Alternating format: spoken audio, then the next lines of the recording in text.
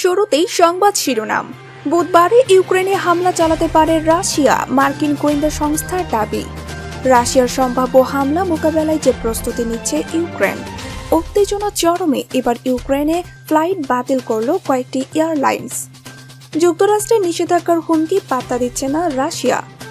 অস্ত্র সহায়তা না দেওয়ায় জার্মানির ওপর ক্ষুব্ধ ইউক্রেন। উত্তর কোরিয়ার দর্প চূর্ণ করতে একজোট যুক্তরাষ্ট্র সহ তিন দেশ।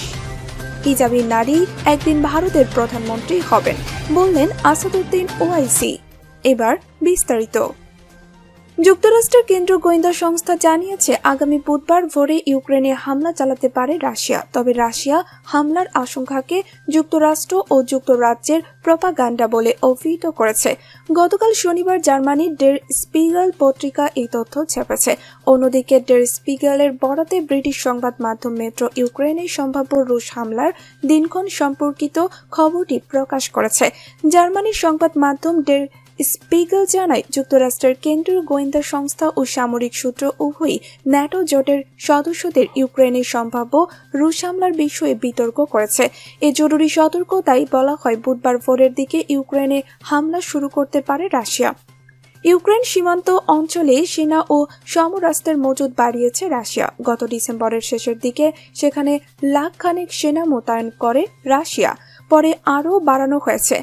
ডের স্পিগল আরও জানিয়েছে, রাশিয়ার প্রেসিডেন্ট ভ্লাদিমির পুতিন আগামী পাঁচ দিনের মধ্যে সেনাদের গ্রিন সিগন্যাল দিতে পারেন। এরই মধ্যে ইউক্রেন হামলার বিষয়ে বিস্তারিত সিদ্ধান্ত নিয়ে রেখেছেন রুশ প্রেসিডেন্ট ভ্লাদিমির পুতিন।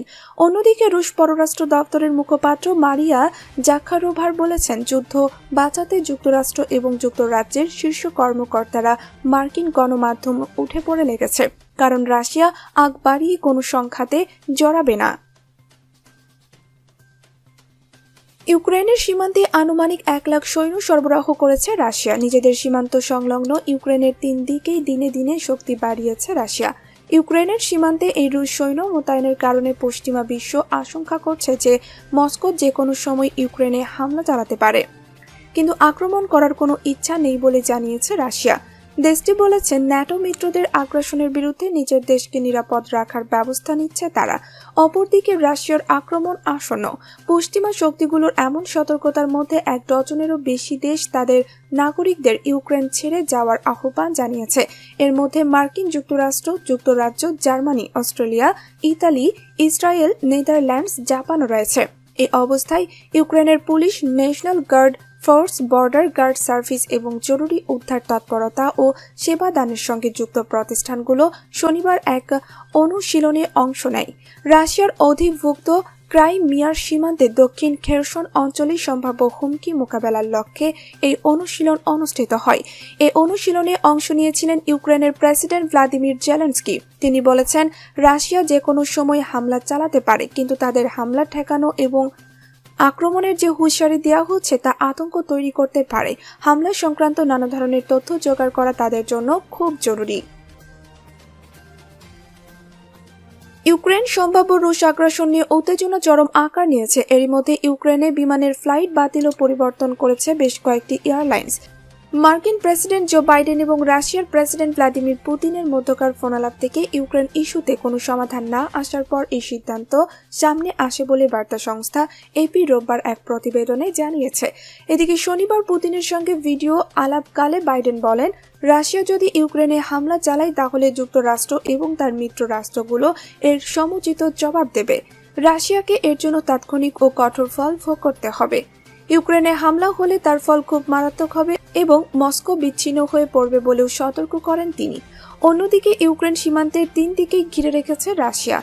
যুক্তরাষ্ট্র, পশ্চিমা ও ইউক্রেন গোয়েন্দা কর্মকর্তারা তাদের ইউক্রেনে খুব দ্রুত সময়ে হামলা চালাবে রাশিয়া। এর মধ্যে ক্রিমিয়ায় দুই দেশের সীমান্তবর্তী রাশিয়ার অংশ এবং উত্তরে বেলারুশের সেনাশক্তি বাড়িয়ে চাপ সৃষ্টি করা হয়েছে বলে প্রতিবেদনে বলা হয়। ইউক্রেন এবং পশ্চিমা গোয়েন্দারা এই তিন এলাকাকে রণক্ষেত্র হিসাবে নজরে রাখছেন। এর প্রত্যেকটি এলাকাতেই রুশ সামরিক বাহিনীর অবস্থান পরিবর্তন চিহ্নিত করা হয়েছে। যদি ইউক্রেনে আক্রমণ করা হয়, সেটি কোথা থেকে শুরু হবে তা স্পষ্ট নয়। তবে রাশিয়া ইউক্রেনের তিনটি পয়েন্টে বেশ চাপ সৃষ্টি করেছে। ক্রিমিয়ার দক্ষিণে, দুদেশের সীমান্তের অংশে ও বেলারুশের দক্ষিণে। রাশিয়া যদি ইউক্রেন আক্রমণ করে, তবে যুক্তরাষ্ট্র ও তার মিত্ররা সমুচিত জবাব দেবে। শনিবার রাতে রাশিয়ার প্রেসিডেন্ট ভ্লাদিমির পুতিনকে এমন হুঁশিয়ারি দেন যুক্তরাষ্ট্রের প্রেসিডেন্ট জো বাইডেন। তবে যুক্তরাষ্ট্রের এই হুমকি আমলে নিচ্ছে না রাশিয়া। এমনটি জানালেন রাশিয়ার সুইডেন রাষ্ট্রদূত ভিক্টর তাতারিনসেফ। স্পষ্টবাদী হিসাবে পরিচিত রুশ এই কূটনীতিক বলেন, পশ্চিমাদের নিষেধাজ্ঞার হুমকি মস্কো পাত্তা দেয় না। ভিক্টর তাতারিন সেফ বলেন, এমন ভাষা ব্যবহারের জন্য আমাকে ক্ষমা করবেন। এই সময় অশ্রাব্য একটি শব্দ উচ্চারণ করে তিনি বলেন, তাদের নিষেধাজ্ঞায় আমাদের কিচ্ছু আসে যায় না। তিনি আরও বলেন, ইতিমধ্যে আমাদের ওপর এই ধরনের অনেক নিষেধাজ্ঞা রয়েছে। এইসব নিষেধাজ্ঞা অর্থনীতিতে ইতিবাচক প্রভাব রেখেছে মন্তব্য করে তিনি বলেন নতুন নিষেধাজ্ঞা ইতিবাচক নয়, তবে পশ্চিমারা যেমনটি বলছে, তেমনটিও হবে না। এর আগে ইউক্রেন নিয়ে চরম উত্তেজনার মধ্যে শনিবার রাতে প্রেসিডেন্ট পুতিন ও বাইডেনের মধ্যে ঘণ্টাব্যাপী ফোনালাপ হয়। বাইডেন রুশ প্রেসিডেন্টকে সতর্ক করেন। দীর্ঘ সময় ধরে ইউক্রেন সীমান্তে লাখো সেনার সমাবেশ ঘটিয়েছে ক্রেমলিন। পাল্টা জবাবে পশ্চিমা দেশগুলোর সামরিক জোট ন্যাটো পূর্ব ইউরোপেই সামরিক উপস্থিতি জোরদার করেছে। সব মিলিয়ে ইউরোপে যুদ্ধের তামামা বাড়ছে। তবে প্রথম থেকেই রাশিয়ার দাবি ইউক্রেনে হস্তক্ষেপের কোনো পরিকল্পনা দেশটির নেই। ইউক্রেনের জার্মান দূত আন্ড্রিচ ম্যালেঙ্কো জার্মানির ওপর ক্ষোভ প্রকাশ করেছেন। রাশিয়ার আগ্রাসনের মুখে প্রতিরক্ষার জন্য অস্ত্র দিতে রাজি না হওয়ায় জার্মানিকে ভণ্ড বলে আখ্যায়িত করেন। এক টুইট বার্তায় ইউক্রেনের এই কূটনীতিক বলেন রাশিয়ার সামরিক আগ্রাসনের বিরুদ্ধে আত্মরক্ষার জন্য জার্মান কোনো অস্ত্র দিতে রাজি নয়। অথচ শুধুমাত্র দু সালের রাশিয়াতে তারা তিনশো ছেষট্টি মিলিয়ন পাউন্ডের দৈত্য ব্যবহৃত পণ্য রপ্তানি করেছে। গত মাসে জার্মান প্রতিরক্ষা সচিব ক্রিস্টাইন লেমব্রেস্ট ইউক্রেনকে পাঁচ হাজার পিস হেলমেট এবং মেডিকেল সামগ্রী দিয়ে সহায়তা করার কথা জানান। জার্মান সরকার ইউক্রেনে কোনো প্রাণঘাতী অস্ত্র পাঠাবে না বলেও মন্তব্য করেন তিনি। এদিকে জার্মানির ভাইস চ্যান্সেলর এবং দেশটির অর্থমন্ত্রী হাবেক বলেন, ইউরোপ সম্ভবত যুদ্ধের দ্বার প্রান্তে। আরটিএল এনটিভিকে এক সাক্ষাৎকারে জার্মানির এই মন্ত্রী বলেন, এটা সম্পূর্ণ নিপীড়নমূলক এবং ভীতিকর। জার্মানির চ্যান্সেলর ওয়ালাফ শোলচের আগামী মঙ্গলবার রাশিয়ার প্রেসিডেন্ট পুতিনের সঙ্গে সাক্ষাতের কথা রয়েছে।